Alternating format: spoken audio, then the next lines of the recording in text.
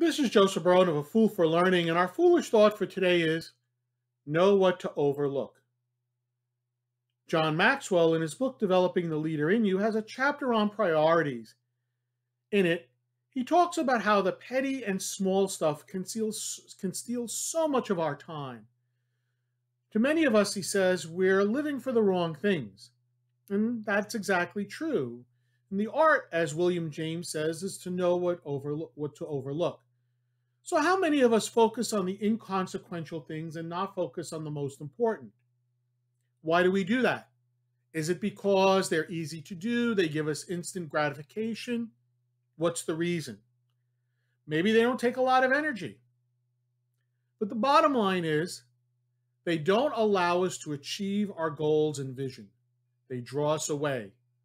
So it's very, very important to make sure that we know what those inconsequential things are and to make sure we stay away from them as much as possible. To learn more about A Fool for Learning, or if you wish to contact me to assist you and your organization with an appropriate learning solution to meet your business needs, please visit my website at afoolforlearning.com. This is Joseph Barone, the CEO and corporate learning consultant of A Fool for Learning, signing out. Remember, learn, perform, succeed.